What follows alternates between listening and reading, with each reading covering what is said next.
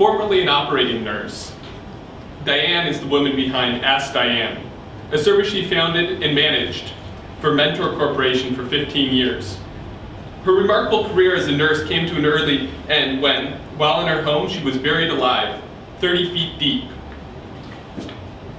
for four and a half hours in the 2005 La Conchita landslide. In just eight seconds, everything about her life was changed forever. 10 people died, 27 homes were buried in the largest mountain landslide in US history. Diane was the last survivor rescued. Diane has published numerous articles for Plastic Surgical Nursing Journal, newsletters and brochures, and has written a book about her experience. She's an accomplished speaker who inspires audiences with her incredible story of hope, love, and survival. Let us welcome Diane.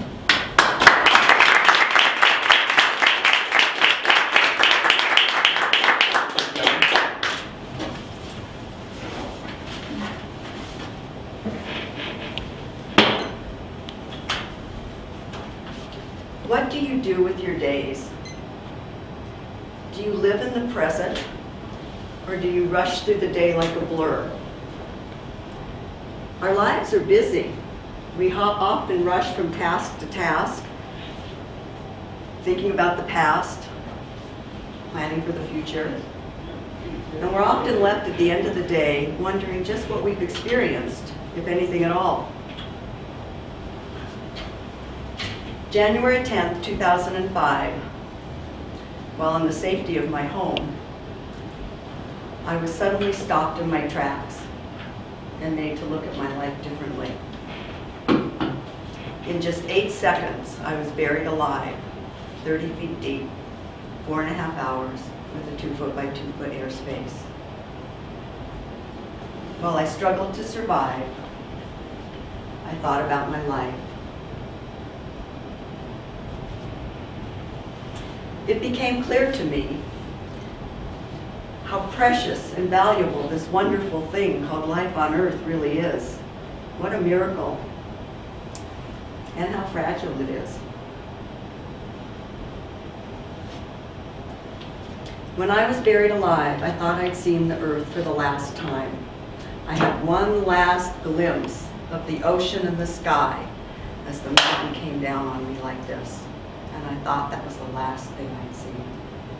I was so incredibly sad that it changed the way I viewed nature forever. I never wanted to take any aspect of this life for granted again.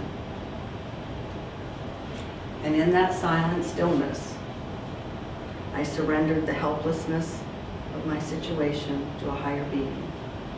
And I found peace of being within. About six months later, I was lucky enough to go to the uh, Fourth of July celebration, the symphony at the Santa Barbara Courthouse Sunken Gardens. If you've ever been there, it's a beautiful lawn area with different levels, rose gardens and palm trees, the Spanish-style architecture of Santa Barbara. It's a beautiful sunny day. The orchestra, full-on orchestra with conductor was playing the music of our country. I was so overwhelmed by the beauty of the day, I became emotional. I lay down on the picnic blanket and buried my head, gave thanks for surviving so that I could enjoy that day.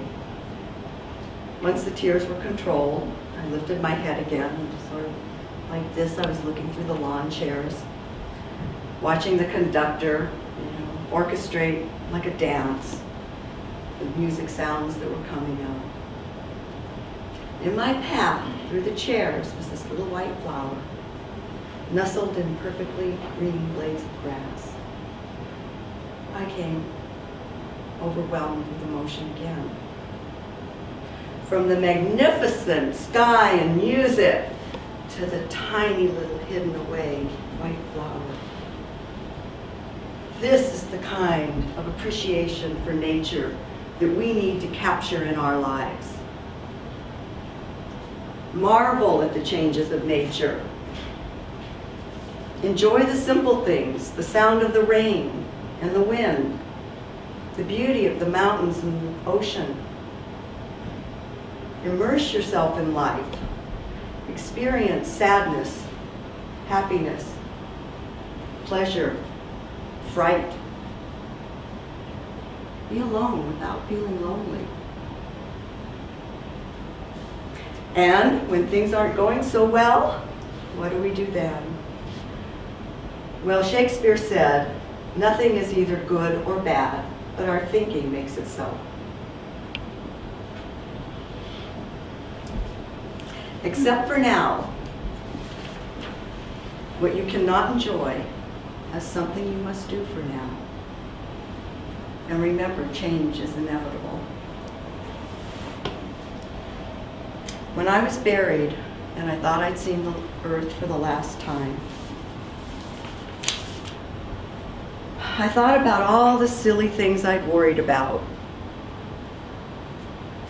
I thought, this was a bad day. life changes in a moment. It was the worst day of my life, but years later, it has become the best thing that happened to me.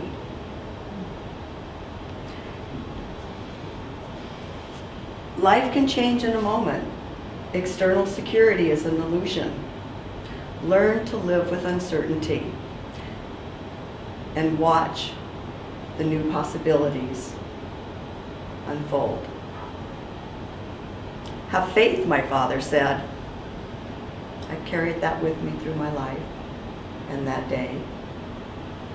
It's not about a perfect life.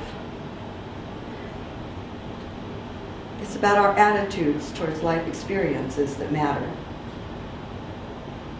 It's not the way life ends that defines that life, but the way a life is lived. So, are you rushing through life to the finish line? Or are you enjoying the journey? Walk through this world with wonderment.